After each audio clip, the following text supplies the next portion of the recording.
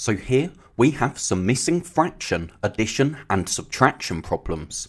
But we can use the same methods to work out our missing fractions as we use to work out missing numbers when they're whole numbers. So first, 3 fifths plus something equals 9 tenths. Well, whenever we have a missing number or a missing fraction in an addition problem, we always use subtraction to find our missing number so we need to work out 9 tenths minus 3 fifths, and that will give us our missing fraction. But to subtract fractions, we need the denominators to be the same. Now 10 is in the 5 times table, so we can find an equivalent fraction to 3 fifths, which has a denominator of 10. So we can rewrite our question. The 9 tenths stays the same, but instead of subtracting 3 fifths, we can subtract 6 tenths. That's equivalent to 3 fifths because 5 times 2 is 10 and 3 times 2 is 6. So now the fractions have the same denominator, so the denominator stays the same in our answer, and 9 minus 6 is 3. So our missing fraction is 3 tenths. Now, 3 quarters minus what equals 1 eighth. So here, it's the second number of the subtraction, or the subtrahend, that's missing. And when we have a missing subtrahend, when it's the second number that's missing, we still use subtraction to find our missing number.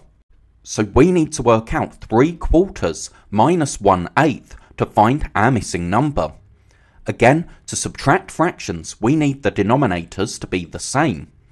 Now 8 is in the 4 times table, so we can find an equivalent fraction to 3 quarters, which has a denominator of 8. That's 6 eighths, because we use multiplication to find equivalent fractions. 4 times 2 is 8, and 3 times 2 is 6. So now, when we subtract the 1 eighth, the denominator stays the same, and 6 minus 1 is 5. So our missing fraction here is 5 eighths.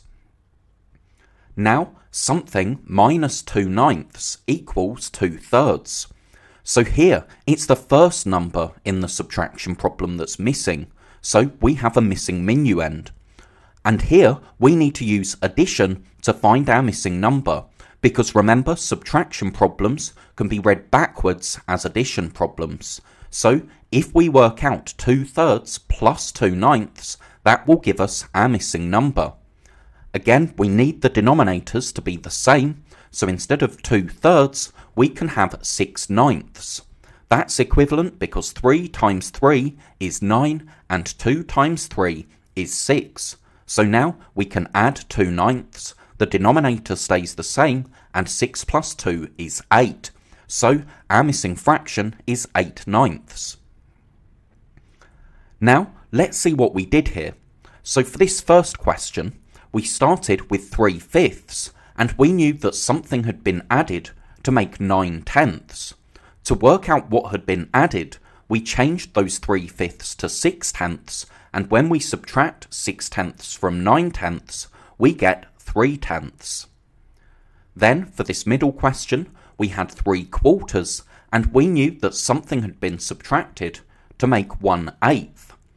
3 quarters is the same as 6 eighths, so we can see that 5 eighths must have been subtracted to leave just one eighth. Then we knew that 2 ninths had been subtracted to leave 2 thirds. But because 2 thirds is the same as 6 ninths, we can add that to 2 ninths to get 8 ninths altogether. So that was our missing minuend.